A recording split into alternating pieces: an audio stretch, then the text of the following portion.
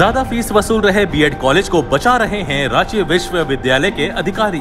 मामला थाना पहुँचने के बाद हरकत में आया विश्वविद्यालय। कई बीएड कॉलेज रांची विश्वविद्यालय के निर्देशों की अवहेलना कर रहे हैं।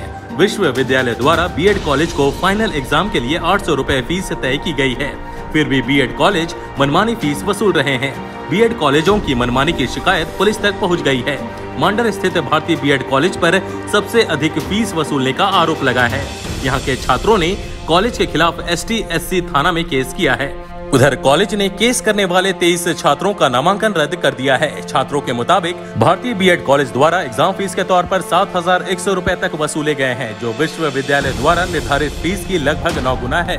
इधर थाना में केस दर्ज होने के बाद रांची विश्वविद्यालय हरकत में आया। विश्वविद्यालय के हस्तक्षेप करने पर कॉलेज ने तीन हज़ार रूपए फ़ीस लिए, जो तय फ़ीस का लगभग चार गुना है।